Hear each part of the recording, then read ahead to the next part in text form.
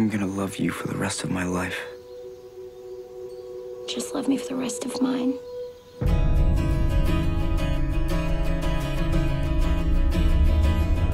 Everyone in town always took me for an outsider. I didn't care. the only thing that mattered was her. And God knows how beautiful it was until that night.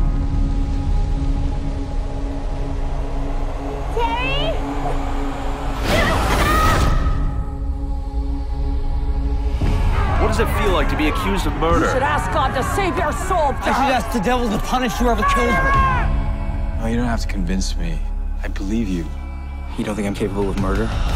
Just put me in a room with a guy who really killed her. When they looked at me, they saw a devil. And now I had to look the part.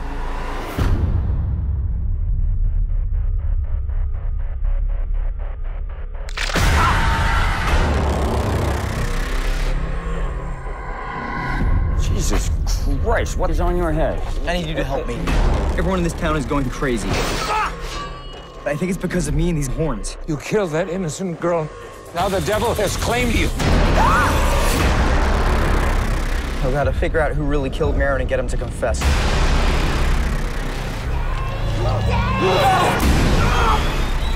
Tell me! Tell me everything that happened!